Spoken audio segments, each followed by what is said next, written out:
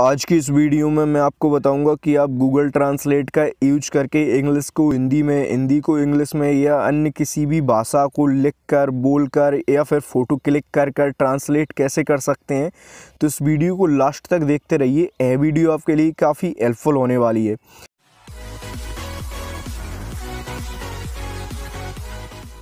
यदि आपने Google translate को अभी तक डाउनलोड नहीं किया है तो आप प्ले स्टोर में जाके गूगल ट्रांसलेट को डाउनलोड कर लें। आप प्ले स्टोर में जाएँगे और यहाँ पे गूगल ट्रांसलेट टाइप करेंगे। और यहाँ पे इंस्टॉल पे क्लिक कर देंगे। और इस टाइप से आप गूगल ट्रांसलेट को डाउनलोड कर लेंगे प्ले स्टोर से। यदि आपके पास गूगल ट्रांसलेट पहले से ही डाउनलोड है तो आप प्ले स्टोर में जाके उसे अपडेट कर लें, क्योंकि आप जब अपडेट करेंगे, तभी उसमें नए नए फीचर्स ऐड होते हैं ओके और अपडेट कर लेने के बाद में आप ओपन कर लें। अब आप जैसे ही गूगल ट्रांसलेट को ओपन करेंगे तो इस टाइप का पेज ओपन होगा आपके सामने। अब आप ऊपर यहाँ पे देख सकते हैं इंग्लिश लैंग्वेज सेलेक्ट है एक साइड और दूसरी साइड स्पेनिश लैंग्वेज सेलेक्ट है। ओके तो इंग्लिश से हिंदी में ट्रांसलेट करेंगे हम तो स्पेनिश पे क्लिक करेंगे यहाँ पे और यहाँ से हिंदी भाषा को सिलेक्ट कर लेंगे राइट और हिंदी भाषा की साइड में आप ये डाउनलोड का आइकॉन देख सकते हैं। ऐसी यदि आप इस डाउनलोड पे क्लिक करके यहाँ से इसे डाउनलोड कर लेते हैं तो आप इसको ऑफलाइन भी यूज़ कर सकते हैं, राइट? जैसे आपके मोबाइल में कभी इंटरनेट नहीं रहेगा, तब भी आप इसे ट्रांसलेट कर सकते हैं, इससे इंग्लिश को हिंदी में या हिंदी को इंग्लिश में, ओके? डाउनलोड करके। तो हम यहाँ पे हिंदी को सिलेक्ट कर लेंगे, ओके? अब हम यहाँ पे ट्रांसलेट करेंगे। जैसे हम यहाँ पे इंग्लिश में टाइप करेंगे और ये हिंदी में ट्रांसलेट करेगा ओके तो यहाँ पे टैप ऑन इंटर टेक्स्ट पे क्लिक करेंगे हम और यहाँ पे हम गुड मॉर्निंग टाइप करते हैं जैसे।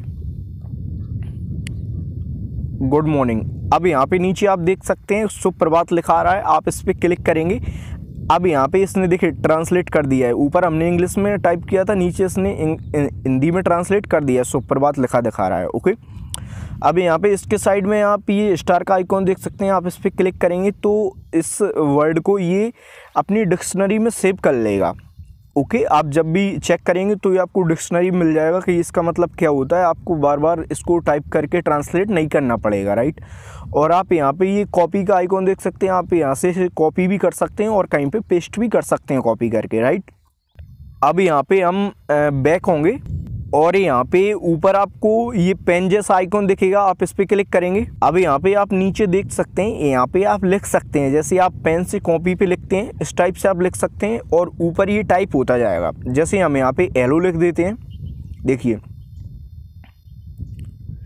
नीचे हमने एलो लिखा हाथ से और ऊपर एलो लिखा हो गया राइट तो इस टाइप से भी लिख सकते हैं आप। अब यहाँ से हम बैक जाएँगे। अब ऊपर आप देख सकते हैं इंग्लिश और हिंदी दोनों लैंग्वेज के बीच में आपको दो एरो के निशान दिख रहे होंगे। आप इन पे क्लिक करेंगे, इससे होगा क्या कि अभी ये इंग्लिश से हिंदी में ट्रांसलेट कर रहा था। अब आपने इस पर क्लिक कर दिया तो अब ये हिंदी से इंग्लिश में ट्रांसलेट करेगा राइट तो इस पर क्लिक कर देंगे आप। और ये जो पेन का आइकॉन था इसके साइड में आप ये माइक का आइकॉन देख सकते हैं, आप इस पर क्लिक करेंगे तो इससे होगा क्या कि आप जो भी हिंदी में बोलेंगे, ये उसको इंग्लिश में ट्रांसलेट करता जाएगा। ये आप जो भी भाषा ट्रांसलेट करना चाहते हैं, उसमें बोलेंगे और ये जिस भाषा में आप सुनना चाहते हैं, उस भाषा में ट्रांसलेट करता जाएगा। राइट तो इस टाइप से भी आप ट्रांसलेट कर सकते हैं।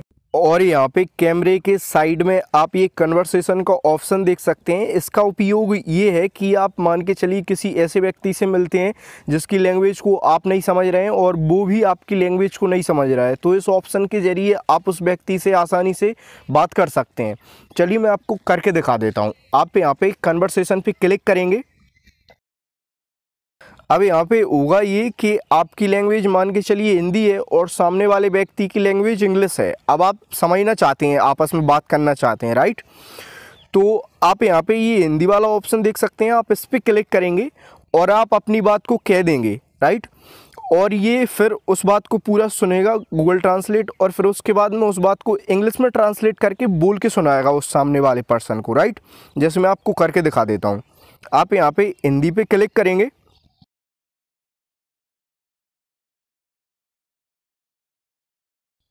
अब देखिए, हमने यहाँ पे कहा, आप कहाँ रहते हैं? तो इसने यहाँ पे इंग्लिश में ट्रांसलेट करके where do you live translate कर दिया राइट अब इस, इसकी बोलने की आवाज़ इसलिए नहीं आई क्योंकि हमने माइक लगा रखा है तो उस माइक के ज़रिए यहाँ पे आवाज़ नहीं आ रही है। आप यदि करेंगे ऐसे में तो आपको आवाज़ आएगी राइट अब यहाँ पे वो कुछ कहना चाहता है इंग्लिश में, वो आपसे इंग्लिश में कहेगा और ये उसको हिंदी में ट्रांसलेट करके आपको बोल के सुनाएगा राइट तो हम इंग्लिश वाली ऑप्शन पे क्लिक करेंगे।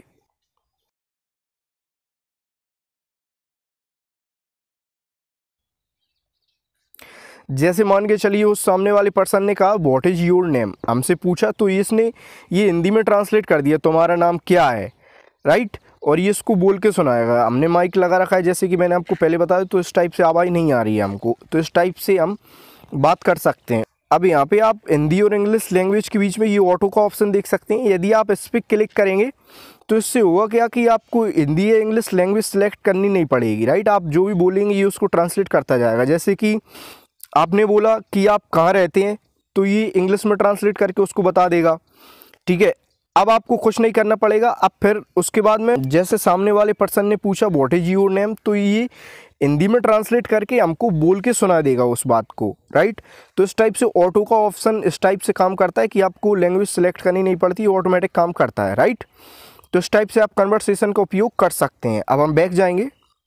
अभी यहाँ पे कन्वर्सेशन के साइड में आपको कैमरे का आइकॉन दिखेगा।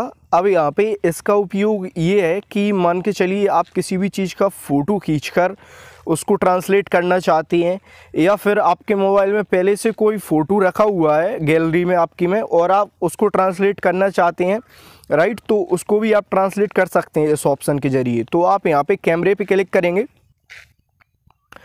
अब यहाँ पे होगा ये कि जो भी कैमरे के सामने आप करेंगे जिस भी चीज़ को, ये उसको ट्रांसलेट करके आपको दिखा देगा यहाँ पे राइट और यहाँ पे आपको ये सबसे लास्ट में एक इम्पोर्ट का ऑप्शन दिखेगा, आप इस पर क्लिक करेंगे।